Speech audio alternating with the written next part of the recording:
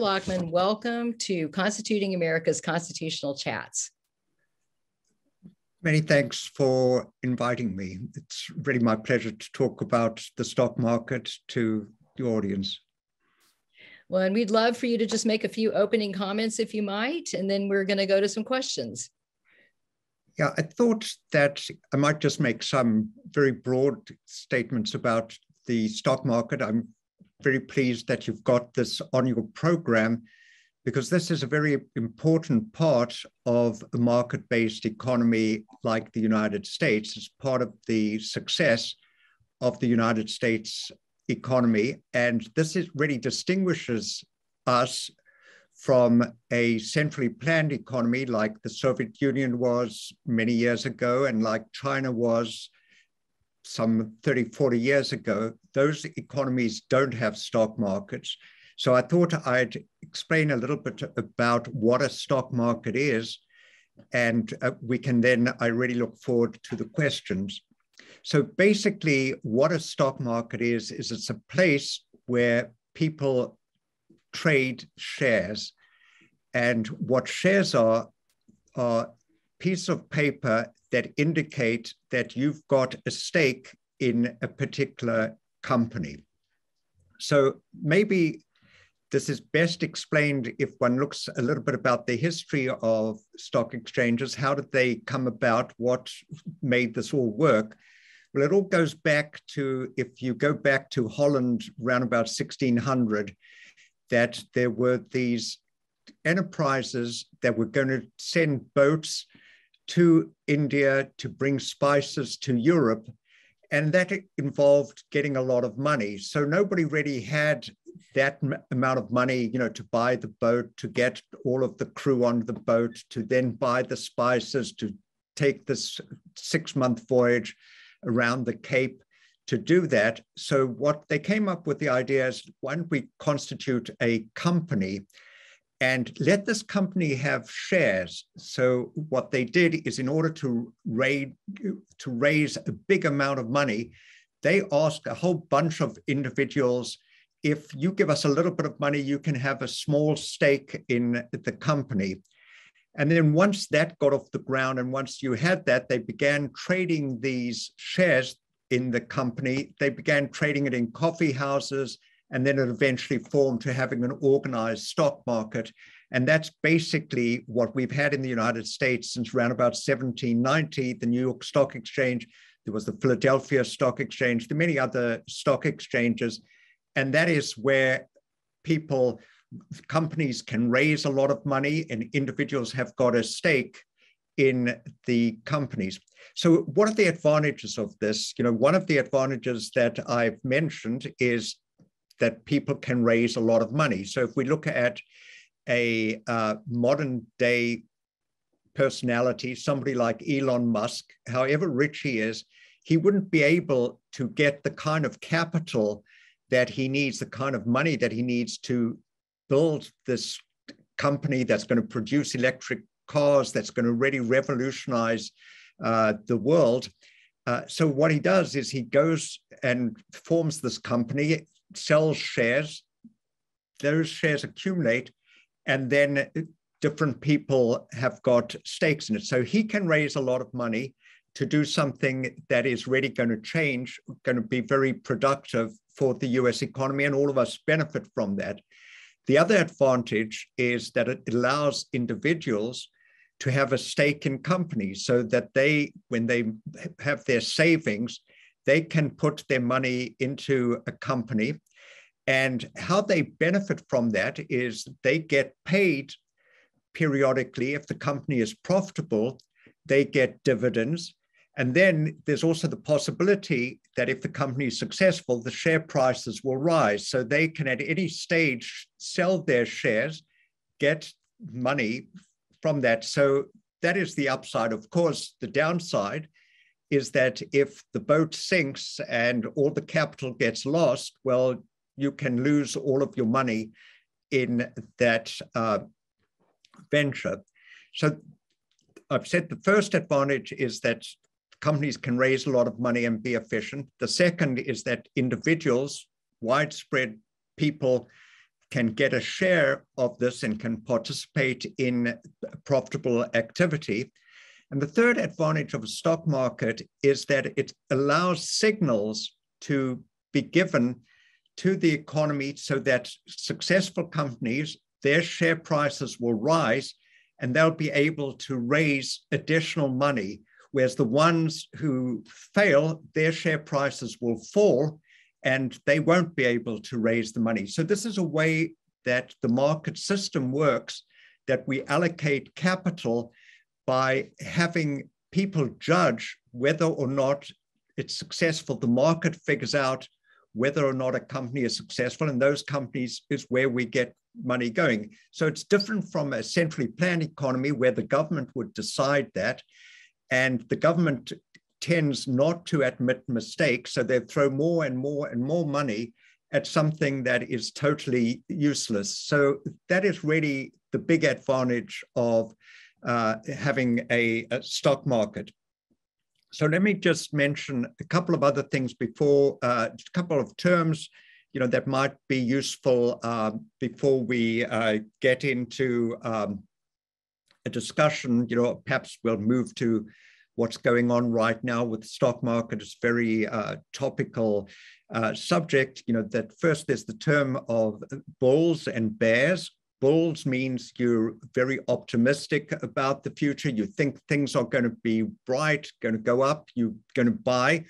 Bears, on the other hand, think that things are not going to do so well, that they're going to go down, and therefore those people sell. So, you know, when we're talking about a bull market, you know, which is what we've had for certainly the last year and a half, you know, since uh, the terrible bear market with Corona. You know, when Corona struck, share prices plummeted 30 odd percent.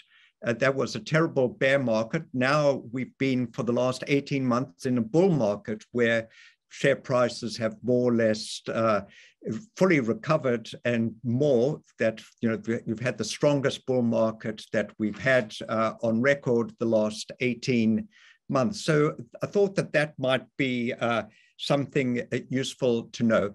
The other thing I'd mention is that markets need to be regulated. So during the 1920s, there were a lot of abuses, uh, that there was insider trading or that shareholders were sold a bill of goods, that the information wasn't good. So we've got a Security and Exchange Commission now that ensures that companies report properly, that directors can't buy their shares or front run the market. So you've got some sort of uh, protection uh, for uh, stock market, uh, for the individual. So it's important that the individual is not misled by uh, companies by false information. Uh, so that is a important role that the SEC tries to play. Uh, the last thing uh, that I would say is, um, you know, stock markets can become very speculative and not do the proper function. You know, they can become. John Maynard Keynes famously referred to the stock market of the 1920s as a casino where people were just guessing what other people were doing. They were not doing the correct evaluation. Uh, but Warren Buffett, uh, a legendary investor in the United States, what he says is that stock markets in the short run, they're voting machines. It means just people can speculate, it can go up and down. But in the long run, they're weighing machines, you know, so they really reflect the true underlying value of the companies involved. So I thought that would just perhaps set up the conversation, and uh, I'd be happy to try to answer any questions you might have. All right. Well, I get to go first. I'm so excited.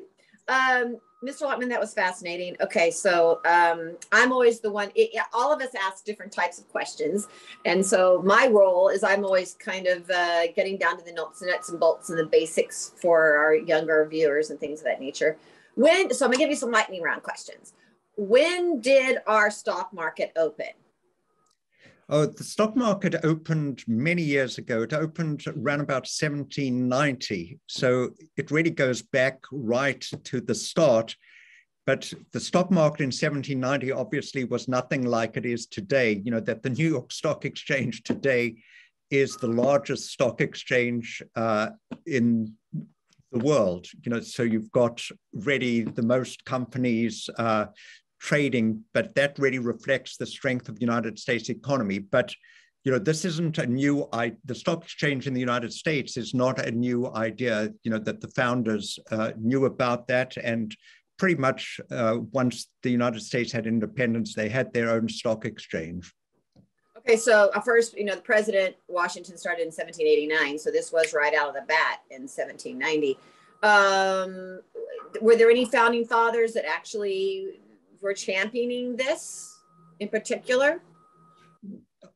I'm not sure precisely which, but they certainly did have belief, you know, that this country was founded right from the start on the idea of the market economy, you know, that government should have a limited role. So uh, this is certainly uh, within the DNA, you know, of the country.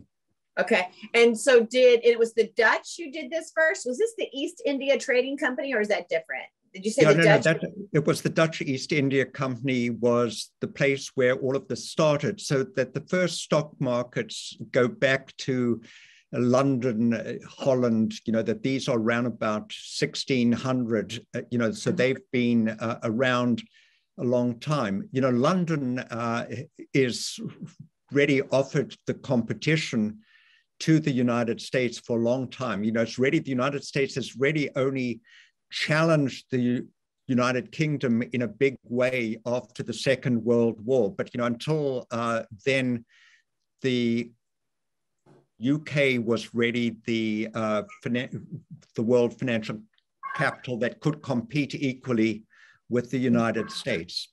Since you know, it, it uh, I'm, I'm sorry. Go ahead.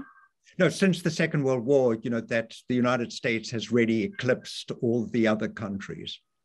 It's that it, it, it's noteworthy to contemplate upon the fact that you know we are like we are at war with britain and you know we won. But really they they they were the template for us in so many sorry i have construction if you can hear that uh, they're the, they were the template for us in so many ways um, we just uh, the stock market obviously being one of them um, okay tell me the difference between uh, what and all of us the, the younger viewers that are listening the Dow Jones and the NASDAQ.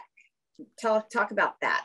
Okay, so the Dow Jones, you know, that is just a group of 30 companies, you know, that they've changed them periodically, but it's just 30 companies that uh, are within the index.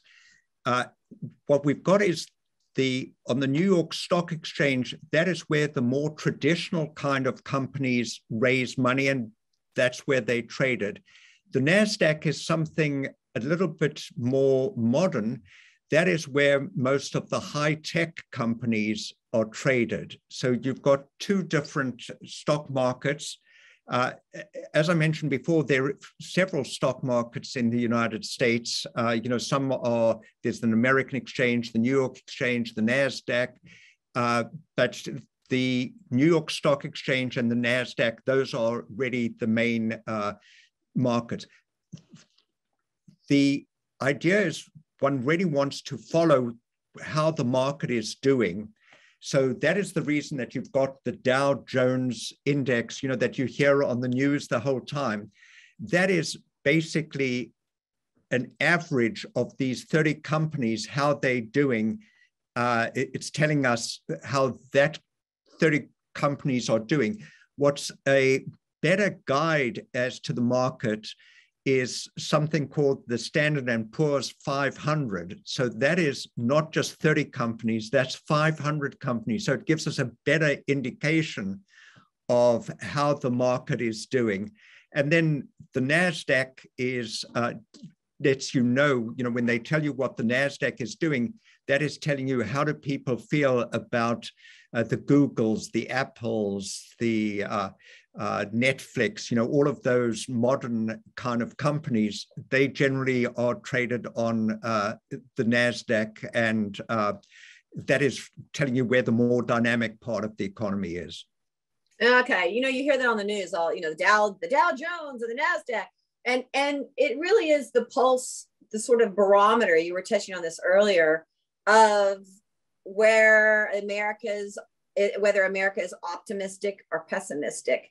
Uh, that it's it's very uh, vulnerable, isn't it? I mean, if people think war is coming or uh, the, the kind, you know, if there's going to be a recession, that's always reflected in the stock market. It's sort of the heartbeat, isn't it? It's sort of the absolutely that that is a barometer of how people think we're doing. You know, but they're really focusing not on the past; they're really focusing on the future. So it's very much like you say. Uh, what we saw, you know, for instance, March of 2020 is when the coronavirus started you know people really freaked out you know they saw the economy being locked down.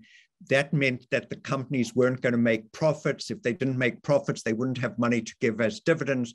So what you saw is you saw the market really just tank uh, that that was really a very frightening uh, experience you know we've had other frightening experience in the past you know if there was a war in the middle east and the price of oil went sky high you'd find the stock market wouldn't do well. Or, you know, right now we focused on, you know, is there going to be a war in uh, between Russia and the Ukraine that can have implications for us? You know, that might be reflected in uh, the stock market. So all of those things tell you, you know, when markets are getting fearful, they'll go down on that kind of news. But then there can also be very good news. You know, if we hear that the Federal Reserve is cutting interest rates or pumping up the economy with a lot of money, uh, you know, people then become more optimistic. You know, and that's really what we saw the last 18 months is that as the Federal Reserve kept printing more money, uh, people became very optimistic. The economy was recovering very strongly, and people saw that you know they were too pessimistic about Corona. So we had the market uh, uh, becoming very buoyant, you know, the last 18 months. Um, okay, last question. Uh, it might, let me go back to, to what it was. Okay, last question. I'm going to toss it to Tova.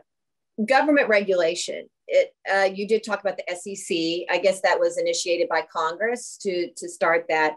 Other than that, is is uh, the the stock market is is really capitalism and free enterprise at its best, is it not? Absolutely, but you know that free enterprise has to be have rules. You know, there's got to be some kind of regulation. Otherwise, what we get is we get a small group of people able to manipulate stuff and uh, really take advantage of the smaller investors. So the way in which this worked in the United States is that there were a lot of abuses in the 1920s. And when we had that terrible crash in 1929, you know, when people lost all of their savings, uh, you know, that is when the government uh, regulated uh, the stock market by creating uh, the SEC. You know, the trick is really to have some kind of regulation, but to be very careful uh, not to have over-regulation. You know, and I remember Hank Paulson, uh, who was uh, the Treasury Secretary uh, in the Bush administration, uh, he once came into American Enterprise Institute and spoke to our trustees, and he said, anybody who thinks that you don't need regulation in markets hasn't worked in the markets. You know, and this was somebody from Goldman Sachs, uh, the president saying, look, we need some kind of regulation, but what they want is they want the light touch regulation, you know, just to make sure that let's make sure that this is a level playing field, uh, that people don't uh, uh, mislead others with false information, you know, that companies can do that. They can withhold information or they can do insider trading, you know, that when they get the information ahead of everybody else, you know, that isn't really fair. So what they're trying to do is create a market where it's perceived to be fair so that people have got confidence in the stock market. They don't think that this whole mm-hmm. thing is just a Ponzi scheme where everybody's yeah. getting ripped off. You know, That's so we want, we, we want a stock market where people feel that they've got a stake in the US economy, that mm-hmm. they've got their savings are going to be safe, that they've got a chance of making money for their retirement. You know, we're wanting that to, uh, to, to occur. Yeah, yeah, very good. Okay, I just want to make sure make sure everybody has time. I'm going to toss. Everybody gets their ten minutes. I don't want to. okay, Tova, go ahead. Thank, Thank you. you. Uh, this has been really, really interesting. I'm learning so much. Um, I was wondering, uh, how does a company decide whether or not to go public or you know list themselves on the stock market? How do they make that decision? Um, and are are there any metrics they use? Yeah, that's a great question. Uh, companies needn't go uh, public, uh, you know, that they can decide that they want to just stay, you know, that if you've got a partnership, you've got enough money, uh, you can stay private and you don't have to have all the headaches of having to report to shareholders and so on.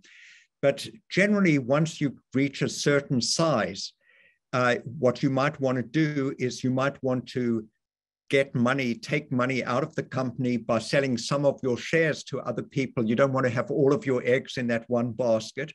What you might also want to do is you might want to expand, you know, in a very big way. So, you know, what we see a lot on with the startup companies is they start up as a small idea, somebody in their garage or in their basement, they've got this idea. And then when it looks like it's viable, and that they can go really big, they generally don't have the money to do that. So what they'll do is they'll go to some sort of either investment bank or some venture capital group, and they'll go and seek outside capital. So that's when they decide to go public.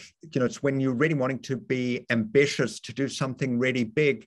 You need money. You can't raise all of the money from banks. So you go to the public and you offer them some share in your enterprise.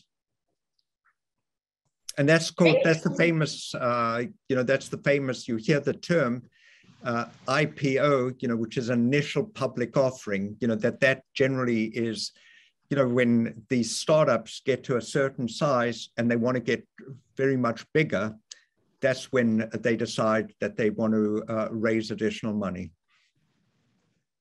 Got it. Thank you. Um, and then, as you mentioned, you know, the stock market used to be a physical place where people would go to like physically trade pieces of paper.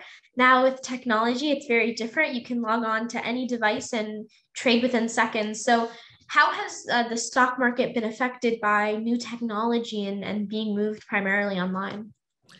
Yeah, that's uh, you know that really has occurred over time. Uh, you know, so that there've been quite a number of developments that are favorable to the small investor, to the individual. So if you've got electronic trading rather than having to go through people, what that means is you don't have to pay the middleman a commission. You know, so in the old days, when you bought a share, you'd have to phone a stockbroker, a retail stockbroker, and what he would do, you know, for the favor of doing this for you, he would charge you one or two percent on your trade. You know, so each time you bought and sold a share, he would be making the broker would be making something. What the electronic trading has done is it's reduced those kind of costs to uh, the individual. So that's really been very good for the individual.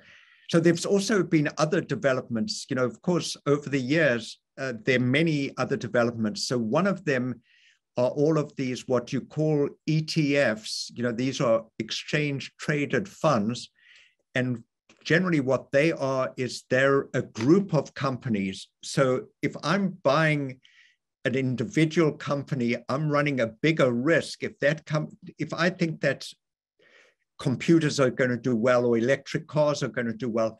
I might not want to buy an in, individual company because that individual company could have problems. I'm wanting to buy a group of companies that are doing the same sort of thing. So that's what these ETFs allow you to do. You can buy an ETF that even covers the whole market.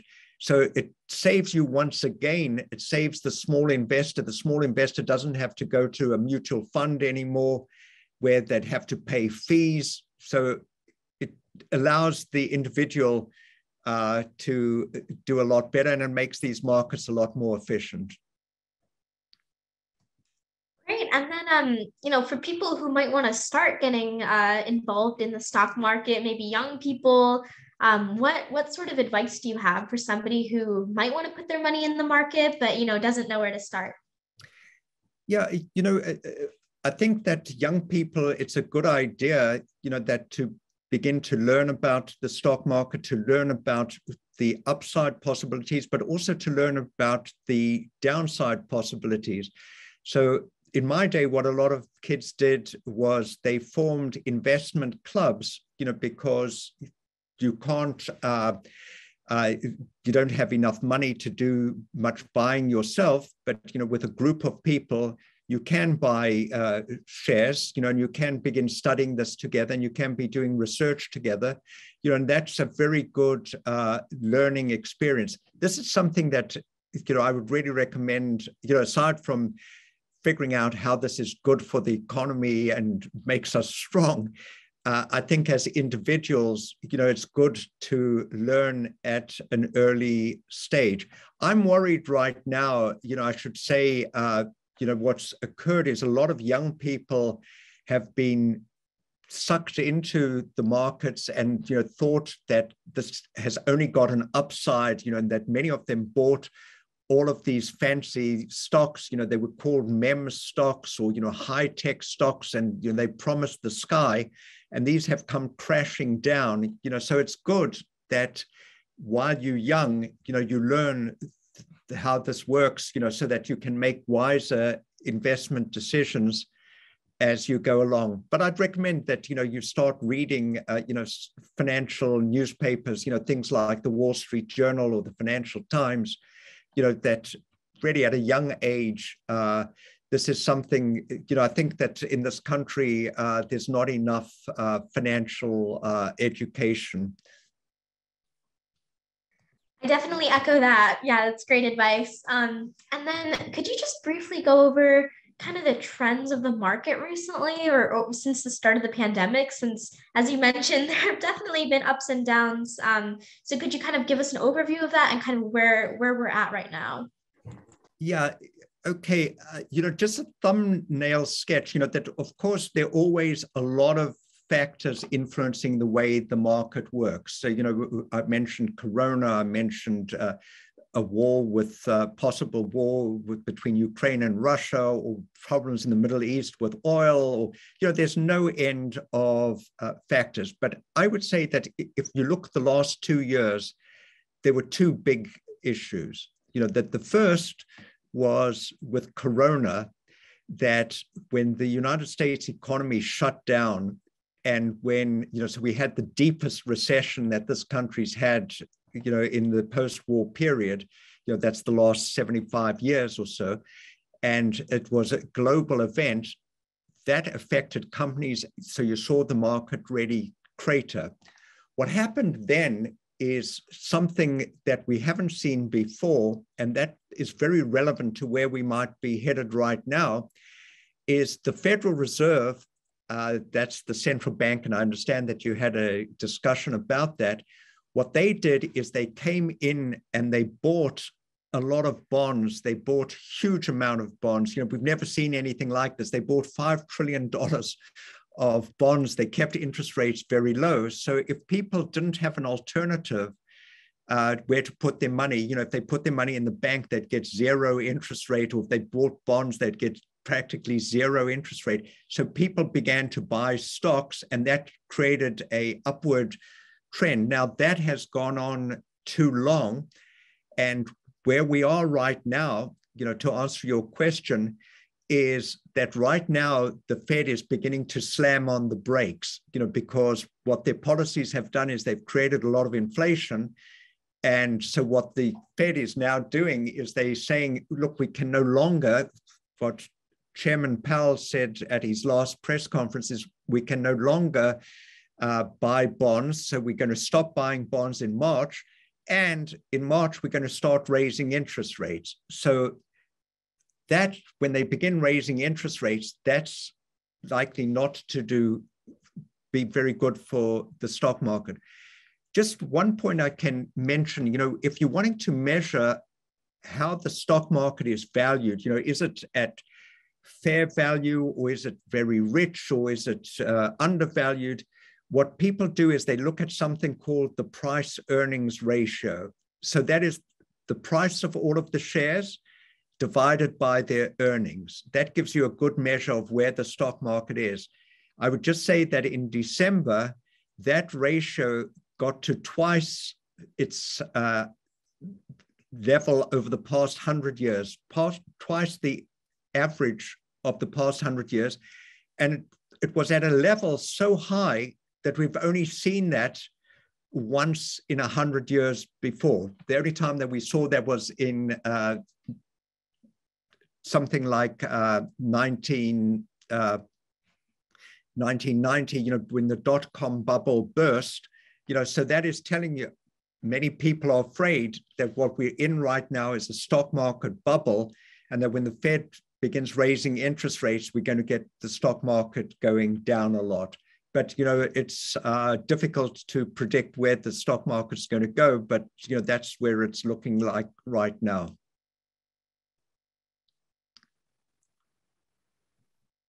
Great, thank you. I will pass on to the next person. I appreciate your answers.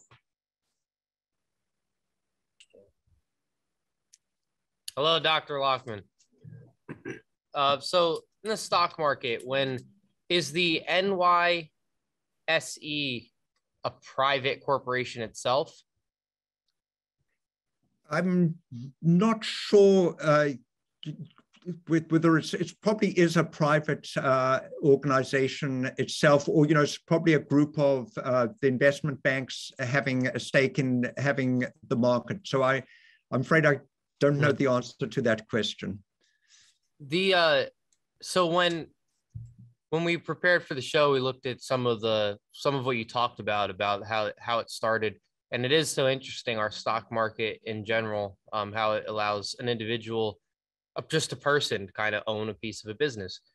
So when you buy a stock, there's an the initial market offering, and you buy you buy a stock, and you're a shareholder in a company. When that company decides to um, make more shares, what happens to your stock that you already own?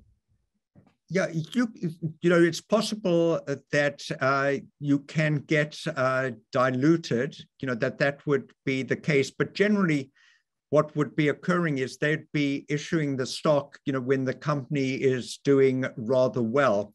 What you've got as well, you know, as a shareholder, you know, and that this is uh, an important point, is that as a shareholder, you've got a vote at the annual meetings. You've got a vote in terms of the board of directors. You know, you've got the possibility of getting rid of the board of directors if the company is not performing well. You know, so you do have uh, the ability, you know, that the shares generally come with a vote. So the company can't just go off and do what it likes. You know, so generally they're going to be doing what is in the shareholders' interest. Now, when they are perceived not to be doing that, you know, what you'll have is you'll get somebody uh, who'll raise capital, you know, that there'll be these figures on Wall Street, uh, these big funds who'll take over the company, you know, fire all of the directors, you know, reorganize the company. So, you know, we've got that way is the way in which the system, you know, keeps generally keeps people um, on Honest. their toes. yeah. So, but so technically, though, buying shares is not exactly buying a percentage that percentage of a company. So you no, don't. It, it, because they could dilute your percentage by a, a new market offering they could go to the market correct they could go and raise uh, additional capital in which case uh, you would get uh, diluted but you know like i say is that it's not likely to be occurring against the interest of everybody. You know, the, what they'll be yes. doing is they might be raising, you know, they might be issuing additional shares so that they can raise additional capital and uh, expand the operation. You know, they presumably do it, you know, when they see that there's an opportunity. What happens as well, uh, you know, is that periodically, you know, the reverse happens. You know, that that's what's occurred is that if the companies see that there's not much in the way of opportunity.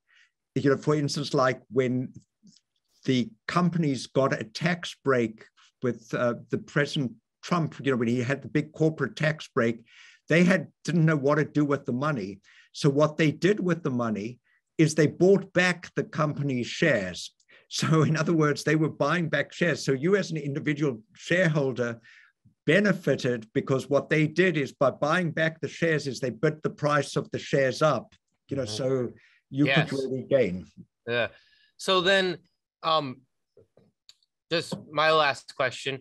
When right now as the market continues well it's hit like you said it's hit historic highs uh, bullish highs could you could that be tied to inflation since holding paper is more uh, would be a greater risk to someone who would be worried about inflation? You'd be safer buying the stock market then not that it'd be the safest thing but it'd certainly be safer for someone thinking about inflation that if that if we just flooded the market with the uh, coronavirus relief that there's so much more money in digital circulation that it's safer to be in the stock market yeah, you know, your question is great, but it's a little bit complicated. So let me put the two cases and I'll tell you which one I think dominates.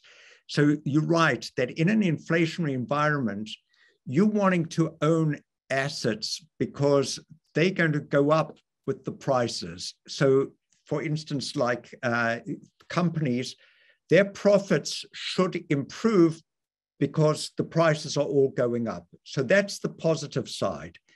The negative side, which I think you know totally dominates the positive side, is that with inflation being high, the Federal Reserve has to take the punch bowl away from the party. It's got to begin raising interest rates. So when they raise the interest rates, then bonds become more attractive than stocks, you know, that they relatively become. So people then move the money out. The other thing with inflation, you know, which is very problematic for the stock market, is, you know, sure, the inflation itself will push up profits, but when the Fed is forced to slam on the brakes and raises the interest rates, the economy slows. When the economy slows, the profits slow as well. So that is really what the markets are looking at right now is they're looking at inflation in exactly the opposite way that you're thinking about it. They're looking at inflation is they saying what has kept the market going throughout 2021 was the fact that the Fed was printing so much money. They were buying $120 billion of bonds each month, and that was pushing up the price. Now that the inflation is here, I mean, what the Fed was doing is was pushing up the price of the shares, but they were also pushing up inflation. Now that they've got inflation at 7% and their target is 2%, the Fed has to jack interest rates up and slow down the economy. So that's so that's really where the market is afraid. You know, that that's why my thinking is that this might be the trigger that bursts the stock market bubble, you know, brings it down. The reason that we're at these ridiculously high price earnings ratio, that the valuations are so high, is because interest rates are zero.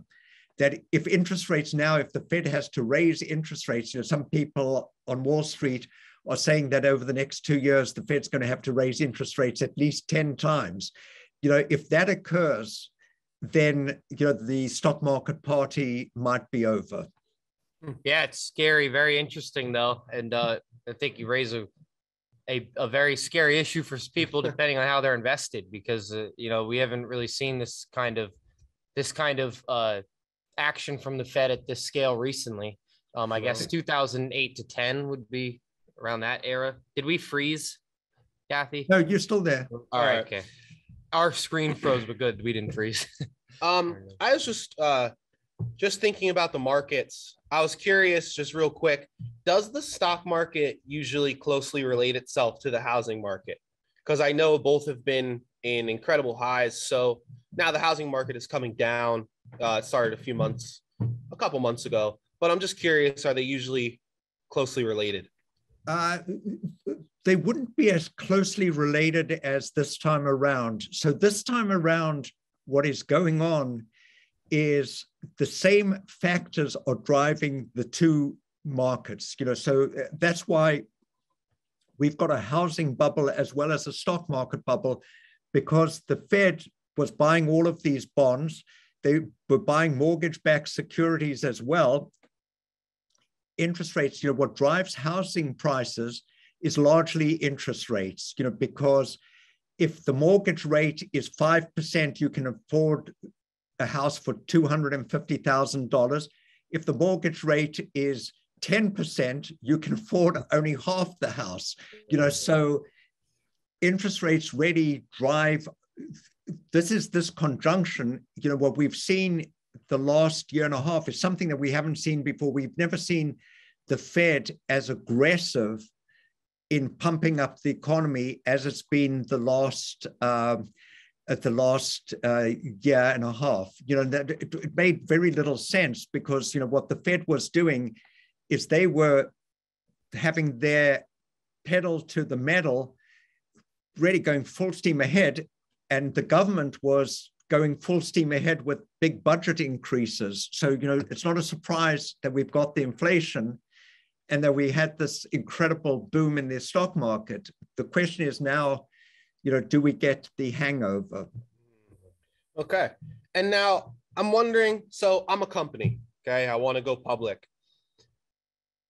If I enter the stock market and say one, I know it's not very likely, but one person or one group buys uh, 51% of my stocks, well, then they own my company so what are the uh, what are the guards or protections against that, and how does a company how much percent and or is it 100% that a company will go into with their shares in the stock market?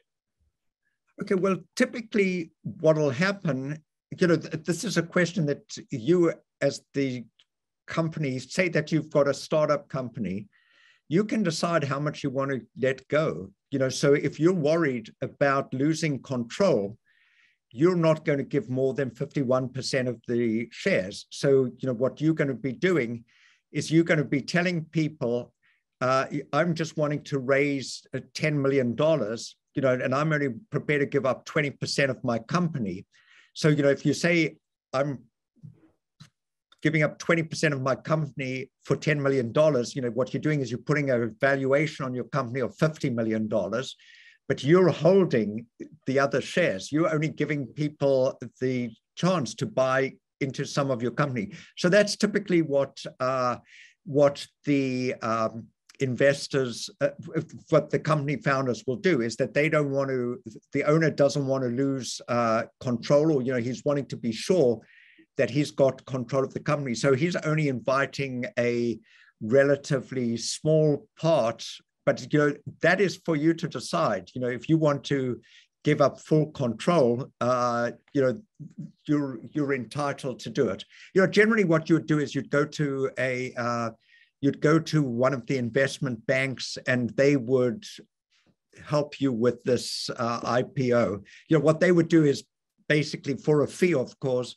they would underwrite it, you know, make sure that when you place it, that you're placing the shares at the right price, that the, uh, the uh, placement doesn't fail. You know, so what they're saying is that if other people don't take up the shares on offer, we'll take it up at the price that is uh, given. Okay. Huh. That's interesting. It's good to know. Uh, I think we are up to our audience questions. But thank you very much for answering our questions. Thank you. That's very insightful. Well, thank you for the great questions.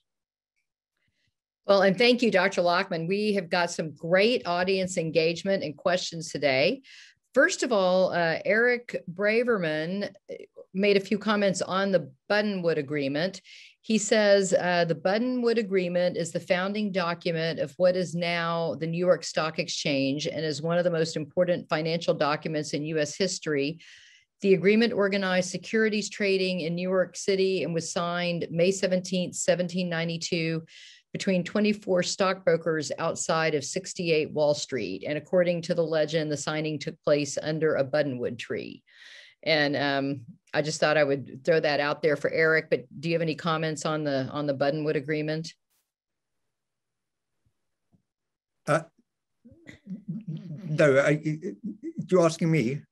Yes, if there's, I mean, if there's anything you'd want to add to that about the the Buttonwood agreement. No, I, I just find that uh, you know pretty interesting, and you know it's what I expected. You know that it would be something like the stockbrokers arranging it. You know that they're wanting to have an organized market. You know, as I mentioned at the start, you know that initially the way in which this worked is people would just do this informally at a coffee shop, but then you know you have to identify, you've got to find the trading partner. So it makes sense that 24 stockbrokers would come together and say, let's do this all in one place, you know, where we've got a real market. Everybody knows that if they're wanting to buy or sell a share, that is the place to go to, you know, mm. rather than to try and find somebody to parcel uh, the shares to. Definitely. And then Michelle Green asks Can you distinguish between the stock market and the speculative options markets? And then also the current derivatives bubble? Okay. Uh, yeah, that's a great question. But, you know, often what an option means is it's an option. You can have all sorts of options, but the stock market does provide you with the possibility of engaging in options.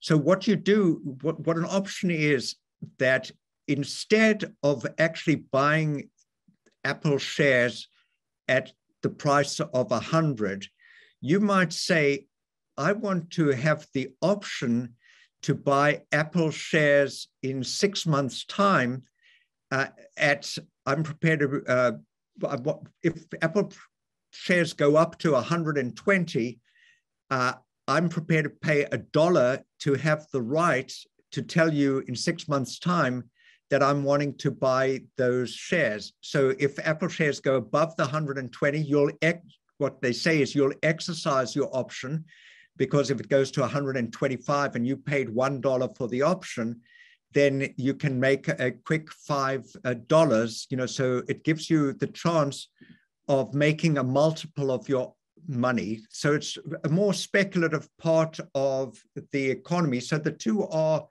of course, uh, related, and it satisfies. You know, different people have uh, different needs. It's a way that some people can take on more risk, other people can reduce their risk. Uh, these are very well developed markets. So we've got derivative markets all over uh, the place. You know, what, what I was suggesting earlier is that the speculation is in the derivative markets, but it's also, you know, in the fundamental underlying market as well. You know, that that's where the valuations uh, get uh, get very high.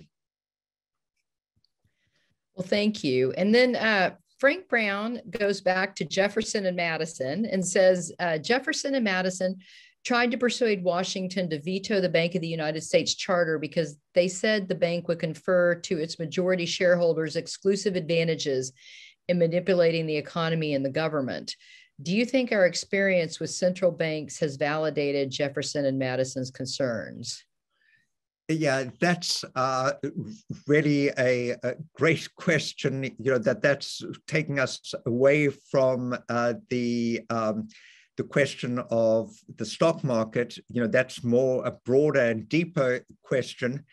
And there is reason to be uh, pretty concerned, you know, that the performance of the central bank over the last 20 years or so hasn't been that encouraging. They, you know, their fingerprints were all over the housing market bubble in 2006 that led to the great uh, economic recession 2008 2009 and now i'm thinking that the current stock market and housing market bubble that is produced by the federal reserve it remains to be seen what the fallout is. So, you know, there's something that isn't right, you know, whether, you know, one's wanting to go to gold or something of that sort, you know, that's a different matter, you know, whether you're wanting to reform, have them uh, play more by rules, than have the kind of discretion that they've had. But this will be a, a I've got no doubt uh, that this will be a very big political question, you know, in the years to come. You know, we'll see what how uh, this experiment, uh, like I say, is that you know what the Fed did. It's difficult to exaggerate how aggressive they were. You know that it took Ben Bernanke something like six years to increase the Fed's balance sheet by $4 trillion after 2008, 2009. It took Jerome Powell's Fed less than a year to do the same thing. So they're six times more aggressive than Bernanke was. And Bernanke was very aggressive, you know, so uh, we'll have to see, uh, you know, where this plays out. But I think that uh, the issue of what do we do with the central bank, you know, will really come back into play. Well, thank you. If we have time for one more question, uh, David Sawyer says mutual funds are prominent and popular and have been for a long time. Could you please explain their nature and significance as well as their pros and cons? Yeah, well, the pro of the mutual fund is that instead of an individual buying one stock, with say that he's only got a hundred dollars that would allow him to buy one stock, he can buy a mutual fund that'll have 50 or 100 stocks in it. So it means that his money is more diversified. He's not taking the risk, you know, that if this one particular company goes belly up, he loses all of his money if he just bought the one company. So what he rather does is buys a mutual fund that's got many, many companies. So the risk of it going belly up are very much less. Now, the trouble for the mutual funds, you know, the disadvantage is that the mutual funds do this generally charging you a fee, you know, so uh, you're giving up some of the gain, but you know you're getting the benefit that you're getting something more diversified. What the trouble is for the mutual funds right now is that they've been struggling because the development of these ETFs, where you can buy the basket directly as if you're just buying an individual stock, but it's really spread out over a whole lot of other companies and you don't have to pay a, a, fee to a broker to do it. But you know, for the individual investor, uh, you know, kind of mutual funds or ETFs uh, are a way to have less, a small amount of money spread out over a lot of shares that you wouldn't be able to do, you know, by yourself. Okay, well, great. And um, we do have one minute left, and I think we've got a question from one of our students, Dylan Riston asks, and we've answered this a little bit uh, in another answer, but I thought we might want to give Dylan a little bit more info. He just says, What do you do to invest in stocks? I mean, if you are a student and you want to invest in stocks, what what would you do, do you think? Well, you know, you can do that uh, directly. You know, you could be buying a, a, mutual fund, but you know you, it's unlikely that you're going to have sufficient amount of money to do that. So generally, what's a good idea is to get into some kind of investment club and have a bunch of people pooling money together to buy a stock and then to do this as a learning experience. And talk to your parents and, and get their permission. so. Okay, well, that's great. That's um, what I was going to say. Talk to your anything, parents. Yeah. Is there anything that you want to um, wrap up with? Did you ask me that question? Yes. Oh, no, I just think this has been great. Thank you. Thank you, Mr. Lachman, so much for your expertise on this, our series on the economy, and how can we do a series on the economy without talking about the stock market? And uh, gosh, I think you've answered everything we could possibly want to know today. So well, I, I, I, I, would just finish by saying that uh, I've had a better bunch of questions from the group of students than I generally get, you know, when I'm on a panel at the American Enterprise from the adults. Ah, there you go we, we've got some amazingly brilliant students here, and but they're uh, Jewel and Jordan have graduated college, and Tova's getting ready to head to college. But and Aubrey, but they're all our contest winners, and we're so proud of all of them. And they always ask the most stimulating, intellectually deep questions. so thank you so much, and thanks to them. Would y'all like to say sign off, Jewel Jordan, Tova, Aubrey? Yeah, thank you so much. Uh, this was really enjoyable and as always, really educational. So have a great day and thank you for your time. Thanks. Good to talk to you all. Thank you. And we invite our audience to join us next week. We're going to be talking about free enterprise, uh, financial capitalism, and we look forward to, to seeing everybody then.